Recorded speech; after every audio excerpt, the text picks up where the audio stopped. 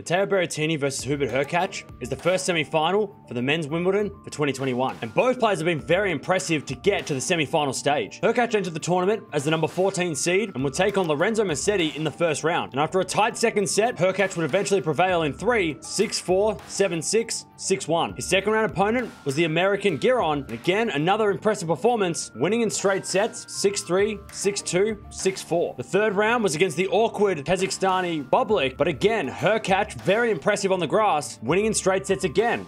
6-3, 6-4, 6-2. In the fourth round, Hurkacz would take on the number two seed Medvedev, and this was by far his biggest test of the tournament. After dropping the first set, he went on to win the second, but then dropped the third, and midway through the fourth, the rain hit and the match was to be postponed. They came back the next day with Hurkacz coming back from two sets to one down to win in five, 2-6, 7-6, 3-6, 6-3, 6-3. In his first Grand Slam quarterfinal, Hurkacz would take on a player who was all too familiar at this stage, the number six seed Roger Federer, but there was no signs of nerves from the Pole, who dismissed the eight-time champion in straight sets. 6-3, 7-6, 6-love. Berrettini entered the tournament as the number 7 seed and will take on Pella in the first round. And after dropping the second set, he'd prevail in 4, 6-4, 3-6, 6-4, 6-love. His second round was against the lucky loser, Van der Zandschulp. Berrettini dismissed the Dutchman in straight sets, 6-3, 6-4, 7-6. His third round opponent was against Bedene, and again, a straight sets performance, winning in 3, 6-4, 6-4, 6-4. In the fourth round,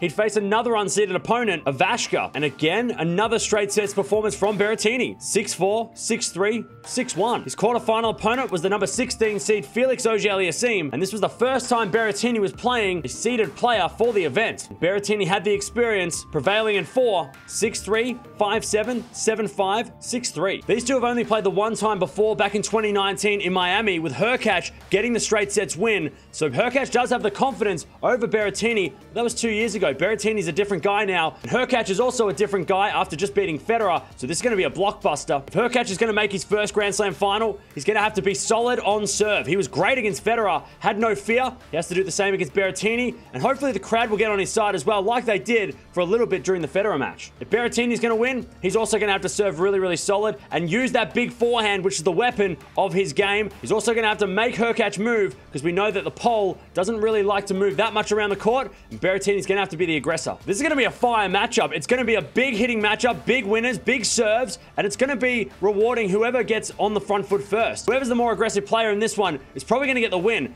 but I'm going to go with Berrettini to get the win in this one and make his first Grand Slam final. He's had a great 2021. He's been sneaking under the radar a little bit for the top 10 players anyway, compared to the guys like Zverev and Medvedev and Tsitsipas. So I'm going to go with Berrettini for the win. Let me know down in the comments below, who do you think is going to win this semi-final?